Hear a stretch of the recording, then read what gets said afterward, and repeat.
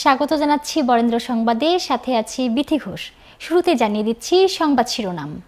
Rajshahi medical college হাসপাতালে দালাল ও প্রতারক চক্রের দশ সদস্যকে আটক করেছে র্যাব। আগামী উনিশ আগস্ট থেকে পুরোদমে চলবে গণপরিবহন, খুলবে পর্যটন ও বিনোদন কেন্দ্র।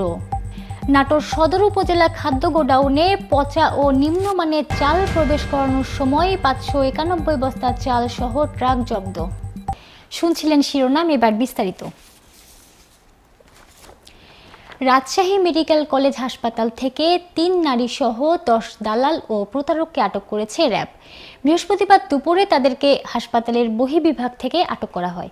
এ সময় ভ্রাম্যমাণ আদালত পরিচালনা করে তাদেরকে বিভিন্ন মেয়াদে কারাদণ্ড প্রদান করেন সহকারী কমিশনার ও এক্সিকিউটিভ ম্যাজিস্ট্রেট কাইসার হামিদ।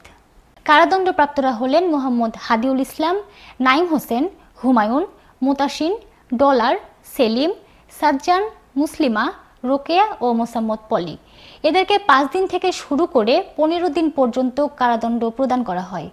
অভিযান বিষয়ে র্যাবের মেজর আশরাফুল ইসলাম জানান, দণ্ডপ্রাপ্তরা হাসপাতালে চিকিৎসা নিতে আসা রোগীর স্বজনদের উন্নত চিকিৎসার প্রলোভন দেখিয়ে বিভিন্ন বেসরকারি হাসপাতাল ক্লিনিকে নিয়ে যেতেন।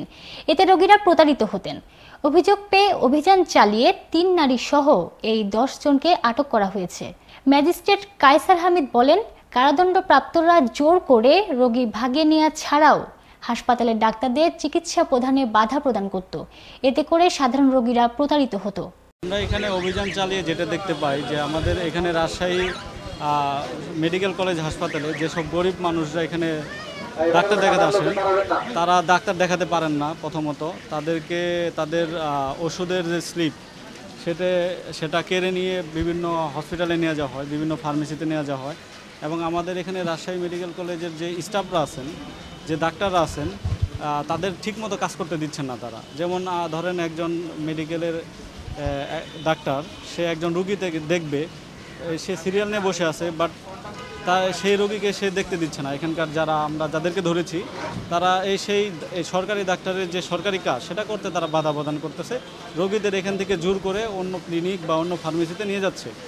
এখানকার সরকারি যে ওষুধ ওষুধও তারা কিনতে দিচ্ছে না। রোগীদের এখান থেকে ধরে নিয়ে তারা বিভিন্ন ফার্মেসিতে নিয়ে যেয়ে সেই ফার্মেসি থেকে ওষুধ কেনাচ্ছে বাট এখান থেকে ওষুধ নিতে দিচ্ছে না। প্লাস এখানকার সরকারি ডাক্তারের যে সরকারি সেবাটা, সেটাও তারা নিতে দিচ্ছে না। দ্যাট মিন্স তারা সরকারি কাজে বাধা প্রদান করতেছে। এই জন্য আমরা এখানে দশজনকে বিভিন্ন মেয়াদে শাস্তি দিয়েছি। এর মধ্যে সর্বোচ্চ পনেরো দিন এবং সর্বোচ্চ পাঁচ দিন এবং তারা তারা ভুল স্বীকার করেছে এবং তারা বলেছে ভবিষ্যতে আর তারা কারও তারা এগুলো করবে না। এবং তাদের ভুল সংশোধনের উপায় হিসেবে আমরা শাস্তিগুলো দিয়েছি। শনিবার থেকে আবারও শুরু হচ্ছে ওয়ার্ড পর্যায়ে করোনা টিকার প্রথম ডোজ। সারা দেশের সাথে রাজশাহীতেও শুরু হয়েছিল গণটিকা কার্যক্রম।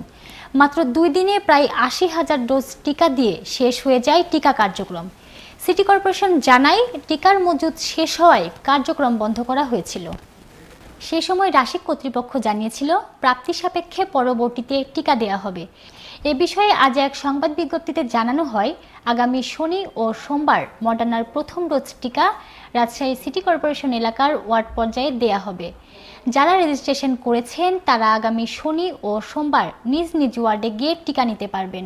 বৃহস্পতিবার মজুদ থাকা পর্যন্ত টিকাদান কর্মসূচি চালু ছিল। এরপর মজুদ শেষ হলে প্রথম ডোজ টিকাদান রাজশাহীর সব কেন্দ্রেই বন্ধ হয়ে যায়। গত শনিবার থেকে সবাই কেন্দ্রে কেন্দ্রে টিকা নেওয়ার জন্য ঘুরতে থাকেন। আগামী উনিশ আগস্ট থেকে দেশ জুড়ে পুরোদমে চলবে গণপরিবহন। এছাড়াও পর্যটন, বিনোদন ও কমিউনিটি সেন্টারে আসন সংখ্যা পঞ্চাশ ভাগ ব্যবহার করে চালু করা যাবে। বৃহস্পতিবার মন্ত্রিপরিষদ বিভাগ থেকে এ বিষয়ে প্রজ্ঞাপন জারি করা হয়েছে। প্রজ্ঞাপনে বলা হয়, উনিশ আগস্ট পরবর্তী নির্দেশ না দেওয়া পর্যন্ত স্বাস্থ্যবিধি অনুসরণ করে সড়ক, রেল ও নৌপথে সব প্রকার গণপরিবহন চলাচল করতে পারবে। এছাড়া পর্যটন কেন্দ্র, রিসোর্ট, কমিউনিটি সেন্টার ও বিনোদন কেন্দ্রে আসন সংখ্যার পঞ্চাশ ভাগ ব্যবহার করে চালু করতে পারবে।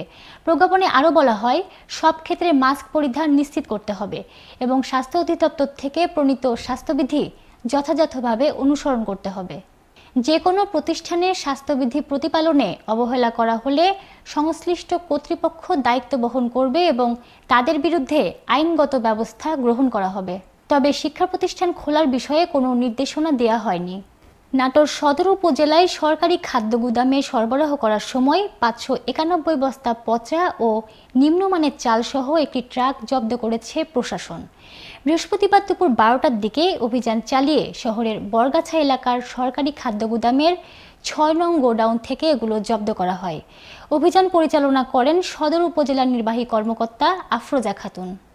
বিভিন্ন সূত্রে জানা যায় নাটোর পৌরসভার সাত নং ওয়ার্ড আওয়ামী লীগের সাধারণ সম্পাদক বেলালুজ্জামান গত রাতে সিরাজগঞ্জের কামারখন্দ এলাকার একটি আড়ত থেকে পাঁচশো একানব্বই বস্তা পচা ও নিম্নমানের চাল নিয়ে নাটোরের সরকারি খাদ্য গোডাউনে আসে।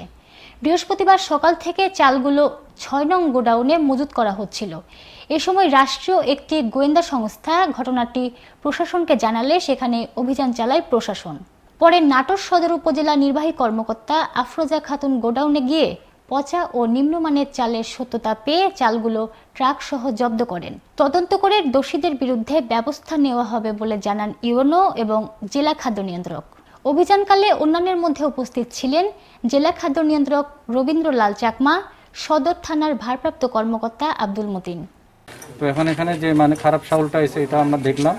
এটা আমরা এখন এই যেটা যে গাড়িটা আছে, ওইটা এক সাইডে রেখে দিলাম। আমরা যারা এই চাউলটা আনছে, আমরা এটা সরকারি বিধি আমাদের যে নিয়ম আছে, সেই মোতাবেক এইগুলো আমরা ব্যবস্থা নেব। আর চাউল আপনার এখানে, আর এগুলো একটা বস্তাও কোনো চাউল, খারাপ চাউল আমরা রিসিভ করব না। বাৎসরিক চাউল চাউল সংগ্রহ, এটি একটি গুরুত্বপূর্ণ কাজ। গুরুত্বপূর্ণ খাদ্য অধিদপ্তরের মাধ্যমে এটি সংগ্রহ করা হয়। বছরের এই সময়ে খাদ্য সংগ্রহের কাজ চলমান থাকে।